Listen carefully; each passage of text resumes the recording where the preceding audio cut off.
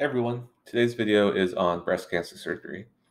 And this is a very complex, very deep topic, and we are really just going for a very basic overview of the fundamental options uh, for operations for breast cancer. So we'll start by describing those options, then we'll talk a little bit about which situations these different options are used for, and then we'll finish up with a little bit of high yield anatomy that frequently comes up in the operating room. So first, anytime we're talking about cancer surgery, I like to review some terminology. So if this is our timeline of cancer surgery, surgery is only one part of this. There's of course uh, different types of therapy that frequently go along with surgery for cancer, um, like chemotherapy, radiation. If those come after surgery, those are called adjuvant therapies. And if they come before surgery, they are called neoadjuvant therapies. But again, today we're really going to be zooming in on the surgery aspect. And we do surgery for two main reasons for breast cancer. We can try to control the primary lesion, remove that from the body. And we also want to look at the nodes or do more of a staging surgery, uh, looking at the axillary nodes. So when we're talking about these, we really have two options to deal with the primary lesion and two options to deal with the nodes. So if we start at most invasive and go to least invasive, our two options for primary are a mastectomy, which just like it sounds, you have a lesion in the breast. And so to get rid of this, you just take out the entire breast. And then you can do a partial mastectomy for your less invasive option. This can also be called BCT, uh, which stands for breast conserving therapy, or a lumpectomy. But in that case, you have a lesion. Instead of taking out the whole breast, you just take out the lesion and a small amount of tissue around that, and you're able to uh, conserve the breast. Now, in terms of dealing with the nodes, our most invasive option is what's called an axe dissection. And in that case, uh, if you have a lesion uh, in breast cancer, it typically most commonly spreads to the lymph nodes, and lymph nodes it most commonly spreads to are the ones in the axilla. So we have some lymph node basins over here. And in axe dissection, we just remove all those lymph nodes. And the problem with that is that there's a high rate of side effects associated with removing um, all this lymphatic tissue. Uh, there are issues with lymphedema in the arm on that side, as well as some risk to nerves. And so another option that's a little bit less invasive is called sentinel lymph node biopsy. And so in that case, we have this same setup here. You can imagine that there's different levels of lymph nodes in the breast. And if the cancer comes from the breast into this first line of lymph nodes, we call these the sentinel lymph nodes because it would have to get to this lymph node and then pass to the next and then pass to the next. So if there's cancer over here in this lymph node, it must have come from one of these lymph nodes first. And so based on that theory, if we take out these first draining lymph nodes, these sentinel nodes, uh, there can't be, and they're negative for cancer, then we know there's almost certainly not cancer uh, in the rest of the lymph node basins. And so then we don't have to take out all the rest of these nodes, do that dissection, and have the associated risk of side effects, uh, which can be quite high. For example, lymphedema is typically around 15% uh, for an axillary dissection, and that's a quite debilitating complication. So a, a little bit more detail about a sentinel lymph node biopsy and how that's done.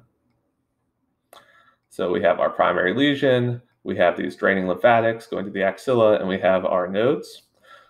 So you can imagine we have to inject some dye near this tumor, and then that dye is going to drain to these nodes and tell us which of these nodes are the sentinel nodes and which are not. So we'll use uh, multiple dyes. Typically, one will be blue, either uh, blue or isosulfan blue. One will be radioactive or a radio tracer. And so when you're looking in the axilla, you're looking for nodes that have one of three characteristics. They can be blue, they can be radioactively hot, or they can be clinically suspicious. And that just usually means big, hard, and bulky. And I should say that these hot lymph nodes, uh, if you remember a number cutoff, remember 10%. So one node is going to be your hottest node, and any node that's greater than 10% as hot as that hottest node also needs to come out. So we inject these dyes, and then we look for them within surgery. Uh, we get a sampling of nodes, uh, and that's going to tell us uh, if we get an adequate sample or not. And it's also important to know if you cannot find any nodes that are blue, hot, or clinically suspicious, then your uh, sentinel lymph node biopsy has failed and you have to go ahead and progress to do that full um, axe dissection. All right, so now we've talked about our four main options. We have our mastectomy, our partial mastectomy for our primary lesions, and our axe dissection and our sentinel lymph node biopsy for our nodes. Uh, and so, what are the most common combinations that we see, and what are the names for those? So, I'd say the most common is um, a small early stage breast cancer is caught, and you're able to do a fairly minimally invasive surgery, and that would be a partial mastectomy plus a sentinel lymph node biopsy. And that's probably the operation I've certainly seen the most in my surgical career. Uh, and that allows us to avoid the morbidity of an axillary dissection uh, as well as perform breast conserving therapy. Another option you can see that's on the other end of the spectrum is called a modified radical mastectomy.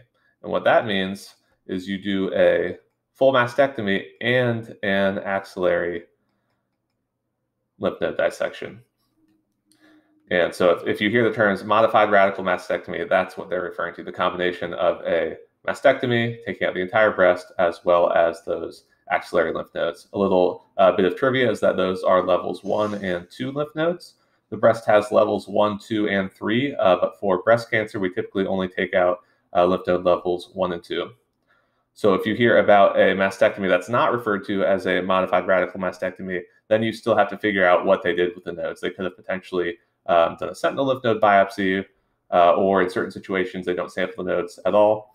Uh, so just keep that in mind. Uh, if you hear modified radical, that's the one situation where you know they did an axe dissection and uh, mastectomy.